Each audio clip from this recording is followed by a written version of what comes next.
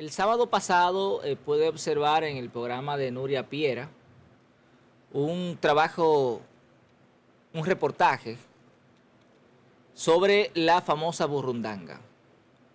Me apenó mucho, y digo, repito, me apenó mucho ver a profesionales haciendo referencia a la existencia de esta droga hipnotizadora.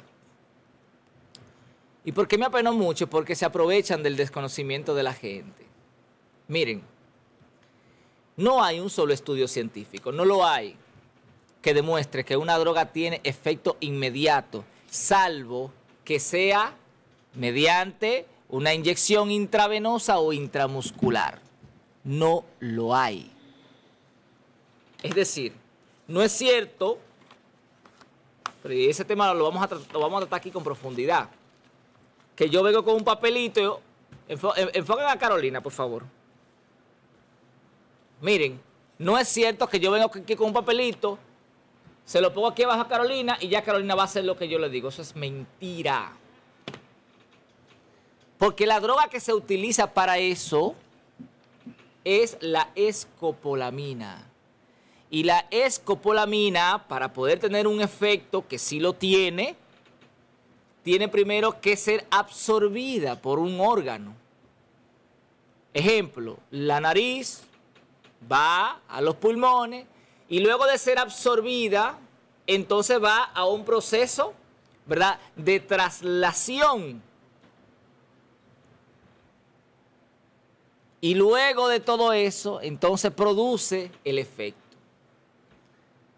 No es cierto, no es cierto que una droga provoque un efecto inmediato y mucho menos, mucho menos de hipnotización.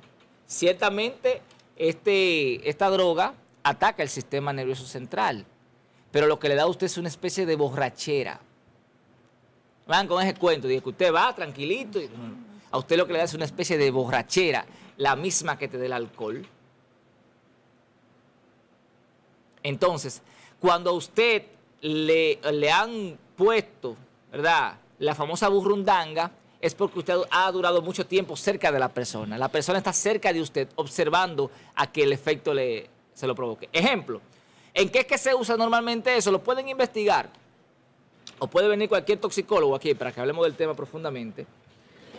Usted está tomándose un café, Carolina, por ejemplo, tiene el café ahí, se descuida, va al baño, y vengo yo, ¡pam! y le pongo la escopolamina y espero el efecto.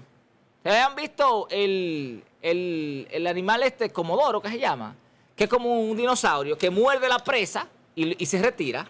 Así pasa también con el avispón. El avispón muerde la presa y se retira a esperar el efecto. Así mismo es la escopolamina. La escopolamina usted tiene que ponerla y tiene que esperar el efecto. No es cierto que, eh, mire este papelito ya, hipnotizado, vaya a sacar dos millones de pesos.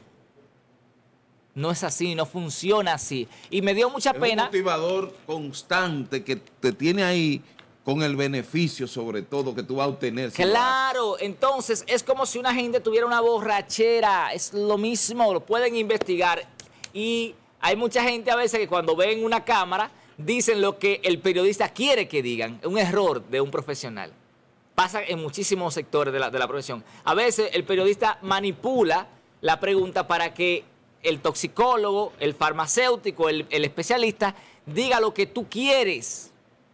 Entonces esa parte creo que deberíamos controlarla.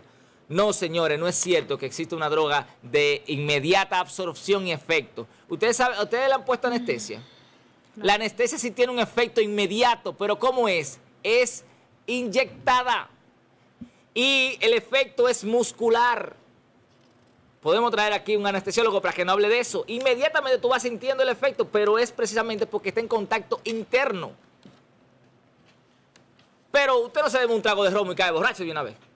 Porque ese, ese trago de ron tiene que ir directamente a los diferentes órganos, ser distribuido a través de la sangre, igualito es, para poder llegar al cerebro. Porque no es verdad que, por ejemplo, un polvo llega directo al cerebro. No, llega a través de la sangre. Entonces, para eso tiene que ser procesado. Y lo que hemos estudiado, lo que tiene que ver con toxicología, sabemos el tiempo que se toma una droga en hacer efecto. Y luego eh, el, tiempo que se toma para salir del cuerpo. Entonces, ese tema es muy delicado yo creo que no deberíamos estar engañando a la gente. Penosamente no son temas que en, que en la República Dominicana se investigan a profundidad. Por eso le digo, señores, no se dejen... A la persona que le dijo, me engañaron, me hicieron sacar dos millones de pesos del banco, no, no, usted lo estafaron. A usted posiblemente le ofrecieron algo y usted fue como niño y sacó ese dinero porque tenía un beneficio. Incluso hubo una que dijo que sacó 500 mil pesos de un cajero. Y yo le pregunto, ¿y qué cajero en este país te da 500 mil pesos? No. Es falso. No. Es falso. Ven, a veces ni siquiera piensan lo que van a decir. Cambio de tema radicalmente para concluir. Miren, cuando hablaba ahorita del tema de la huelga, ciertamente yo estoy de acuerdo con Amado, debemos de cambiar los métodos, pero tenemos que ponernos de acuerdo todos, todos los sectores, para que podamos exigir a unanimidad lo que necesitamos. Primero, ¿qué necesitamos? Bueno, necesitamos esto, nos ponemos de acuerdo, peleamos entre nosotros y nos ponemos de acuerdo qué vamos a, a- a exigirle al gobierno, al Estado, a lo que sea. Y en función de eso la pedimos juntos. Y si tenemos que hacer un piquete, lo hacemos todos. Si tenemos que dejar de pagar la energía eléctrica como propone Amado, entonces la, dejamos de pagar todos. Y así trabajamos de manera eh, unida. Pero, señores, miren, el desarrollo, atención, Ramón Antigua y las personas del foro, el desarrollo no se va a conseguir si los derechos fundamentales de la gente no están garantizados. Y cuando digo derechos fundamentales, hablo primero de la salud. De la salud. Del derecho a la vivienda. ¿Mm? Del derecho a la dignidad, del derecho al trabajo. Si esos derechos no están garantizados, nosotros no pone la educación. Pero vamos a centrarnos ahí. Solamente lo que tiene que ver con salud, educación, el bienestar de la gente. Si eso no se le garantiza a la gente, no vamos a tener desarrollo, porque no hay que ser rico.